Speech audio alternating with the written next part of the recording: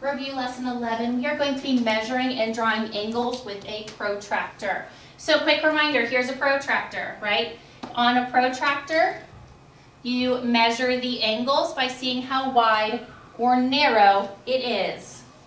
So here if I have this angle, I'm going to first line up my protractor, okay? Then what I'm going to do is I'm going to see how wide it is. Now this angle, okay, it's an obtuse angle.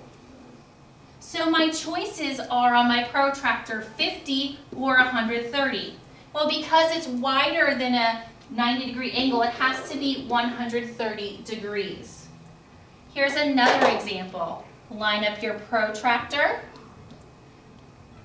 measure.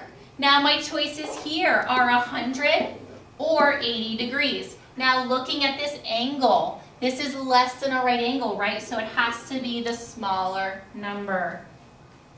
All right, here's another one. With this one, you're going to have to turn your protractor. Okay, so I have to turn it in order to measure so I can put my protractor correctly on the vertex here. Okay, so now when I measure, my choices are 120 or 60. Now this is a narrow angle, right? This is not very wide. It's less than 90 degrees. So it's going to be the lower number. Here's another example where I'm going to have to turn my protractor. Okay, or there we go. So I got to line up my vertex. Probably going to have to turn it again. Here we go. Measure my angle.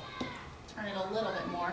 There we go measure my angle. My choices are 120 or 60. Now again, this is a narrow angle, so I'm going to go with the lower number.